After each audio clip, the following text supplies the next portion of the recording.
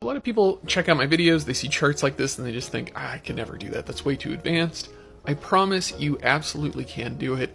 There's just like five core steps that I take to do this. So when you drop a chart in, it typically looks something like this. The first thing I do, I drop out my fill, I drop out my line. Those are the, the outline and the fill behind it. We want to just be working with the chart itself. We don't want to have a background. If you want to have a background, do it with a shape. Under the insert tab, go insert shape and use that as the background for your chart. Next thing we're going to do is we're going to make sure our font has enough contrast that we can read it. So I'm going to just change these to white so that we can actually read them properly. Next thing I do is I look for any super high contrast elements that might be distracting.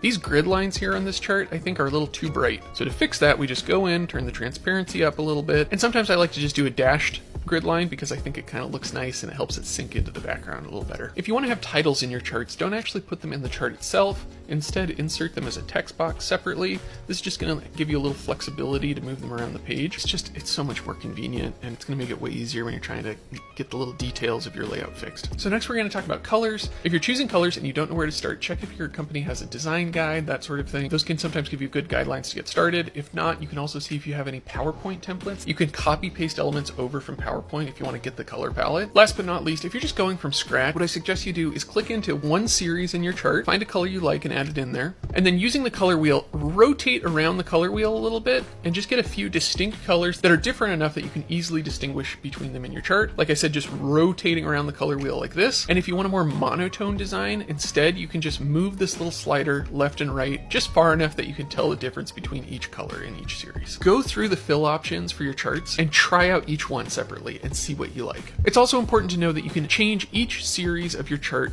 independently just by clicking into it. One little note on this double pie chart you see behind me, I've created visual distinction between these by taking the outer chart and just increasing the transparency of each color a little bit so you can tell the two apart. My general principle here is over explain versus under explain. So adding lots of labels, even adding in little guidelines like you see here to point to things, I think is really helpful for people who maybe aren't as familiar with your data as you are. And before you know it, we've got something pretty cool looking here. So the two most important skills, the first one is color palettes. Take the time to learn how to use colors a little more effectively. Do a little practice. You can even do a YouTube tutorial just to get more comfortable choosing colors. The second is learning how to customize every single element of your chart. The easiest way to learn how to do this is to click into your charts, go to the design tab, go to add chart element, try adding each element, and then when it's added, click into it and look at all of the customization options that you have.